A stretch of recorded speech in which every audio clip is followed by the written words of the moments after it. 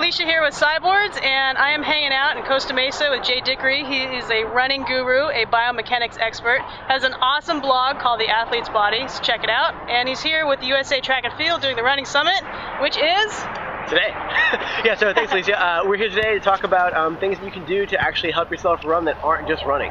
Um, so many times we get in a, stuck in a rut, we just put on more miles and more miles, and there are things you can do outside of just turning, turning your legs over that make a big difference. Uh, it's important to make sure you stay supple, uh, that you actually you know have um, you know enough slide and glide your tissues. It's important that you keep things stable. It's important that you stay explosive.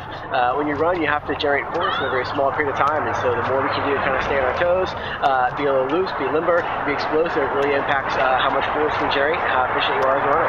So other things outside of running should be doing them, right? Yes, indeed. Not just running, running, running, running. Be well-rounded, be an athlete. All right, so we're going to throw some balls around. We'll check back in with you later.